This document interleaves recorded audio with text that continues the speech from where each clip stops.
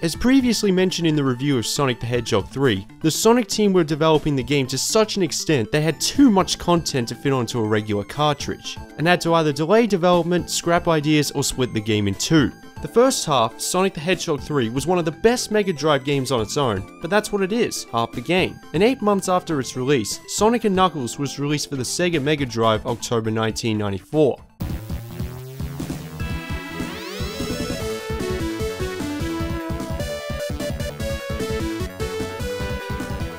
Combined with Sonic 3, this is the most beautiful, colourful, and cinematic of the Mega Drive series with side-scrolling backgrounds, gravity effects, lots of strong colours, a memorable soundtrack, and plenty of interactions from the characters. Once again, action speaking louder than words. All the zones feel like one giant level and slightly change the environment on each act. The extra cinematic touch without ruining the flow of the gameplay certainly helps. The Sandopolis zone for example. It's in the deserts obviously, but the second act is in a pyramid with a couple of new obstacles and a boss to overcome, so you're not exactly playing the same act as the other. You can't even say that about the first three Sonic games. All the things I addressed in my Sonic the Hedgehog 3 review including power-ups, item boxes, special stages and controls whether beneficial or detrimental, mostly beneficial, are present here so I'm not going to repeat myself. As you can tell from the title screen, the story continues right after Sonic defeated Robotnik again. But the Death Egg is only damaged, again. The floating island is still on the ocean floor, and Sonic must retrieve the Master and Chaos Emerald from Robotnik and Knucklehead, who still thinks he's in the wrong.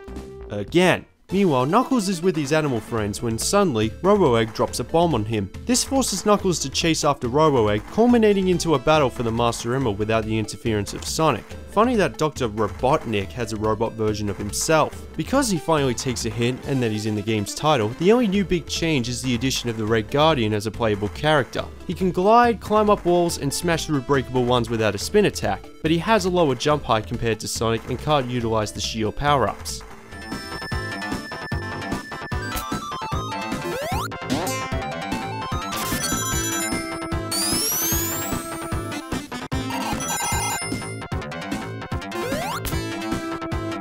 If you played as Sonic first, you're going to realise that playing as Knuckles amps up the difficulty, particularly in the boss battles. Look at the first one with Sonic, I could beat this one without taking any damage, but playing as Knuckles, the gameplay speed increases. Also on the special stages when you slowly increase in speed as you collect blue spheres, Knuckles goes even faster.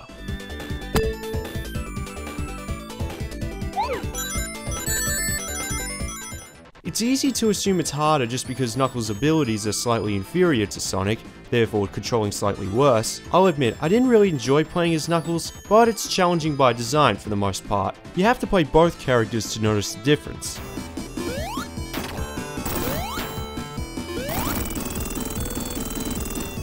The level designs can drone on for so long, I don't even see the point of time bonuses at the end of a level. Going back to the Sandopolis Zone, Act 2, I only had literally 10 seconds to spare, thanks mostly to this part where the sand slides go on for an eternity, and was initially confused as to how to get past them. Also, there's no save feature. Fortunately, you get the idea. I had a tough time trying to beat Sonic and Knuckles, but I don't think it has anything to do with the difficulty. I breezed through the first three Sonic games, whereas this is the first time I've ever tried to beat SNK. I know, sacrilege. Because it controls the same at least if you play as Sonic, and the actual level designs are grade A for a 2D platformer, it rewards you for trial and error and level memorization. That is a mark of a video game masterpiece.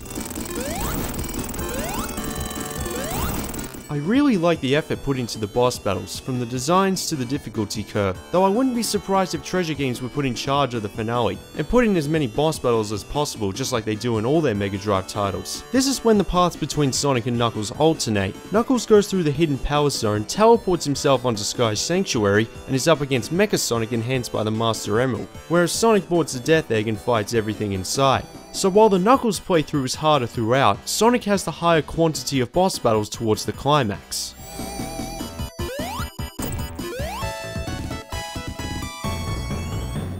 I can't think of a different way to describe the gameplay in a 2D Sonic game because it's only slightly enhanced each title, and Sonic & Knuckles can't be any more similar to its predecessor. It's basically Sonic the Hedgehog 3.5.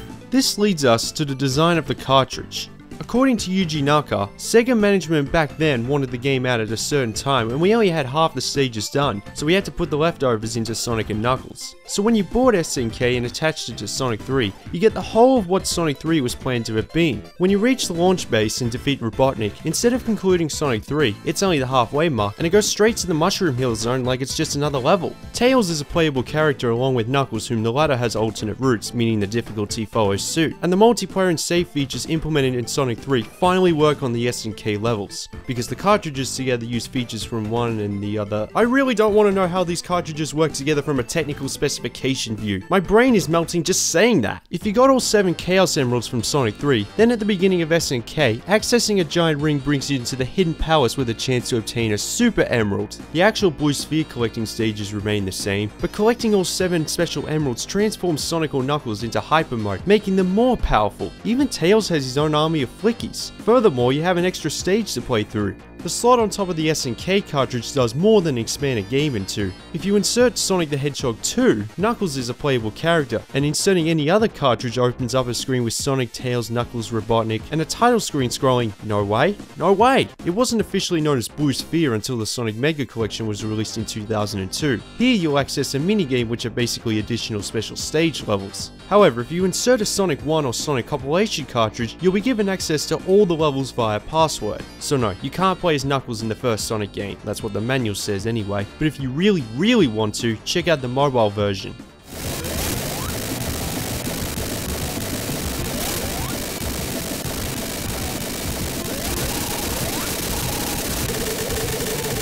That being said, I've never heard of a Mega Drive cartridge this complex with so many purposes it could be another review on its own. It is then you realise just how ambitious the Sonic team were when developing Sonic the Hedgehog 3. With both cartridges together, this is one of the greatest Sega Mega Drive games ever made. I get that you need to pay the equivalent of two games to get the full experience, which was ridiculous back then, but today, it's no longer the case, digitally, or on compilations at least. This is Sega at its finest, and a perfect way to conclude the Mega Drive series floating high before diving into the third dimension. So whenever you decide to play Sonic the Hedgehog 3, make sure you're playing the definitive version, Sonic 3 and Knuckles.